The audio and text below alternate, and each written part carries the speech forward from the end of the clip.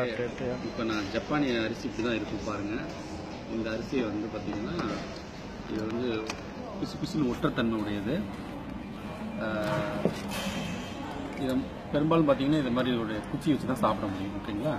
உதாரணத்துக்கு இங்கே எடுத்து தான் சாப்பிட முடியும். இப்போ நான் உங்களுக்கு இதில் வந்து ஒரு பால் செஞ்சு காமிக்கிறேன். இருக்கிறேன் நல்லா விட்டுறேன் ஓகேங்களா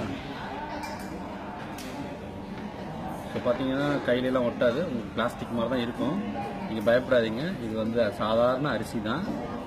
ஸோ நீங்கள் இந்தியாவில் இருக்கக்கூடிய அரிசி இதே மாதிரி நீங்கள் வந்து ஆறின சாதத்தை நல்லா உங்களுக்கு இப்படி பண்ணும்போது என்னென்னா இதில் அடர்த்தி நல்லா பேக்கிங் ஆகி பேக்கிங் ஆகிட்டே இருக்கும்.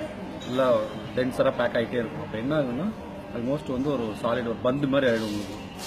ஸோ அப்போ வந்து பார்த்தீங்கன்னா இதை வந்து ஒரு இந்த மாதிரி ஒரு இதில் வச்சு பார்த்தீங்கன்னா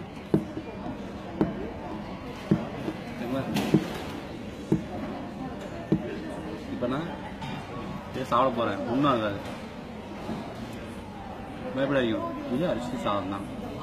அதனால் நீங்கள் இந்தியாவிலேயும் வந்து அந்த மாதிரி சாதத்தை வந்து நீங்கள் ஆறுன சாதத்தை உருட்டி உருட்டி உருட்டி ரொம்ப அடர்த்தி அதிகமாகிட்டிங்கன்னா அது இது மாதிரி பந்து மாதிரி எண்பதாக செய்யும். ஆனால் பயப்படாமல் சா சாப்பிடுங்க. பிளாஸ்டிக்லாம் வந்து சா இதில் கலக்கிறதுக்கு வாய்ப்பே இல்லை. வீடியோ பார்த்தாலும் நன்றி. Finish?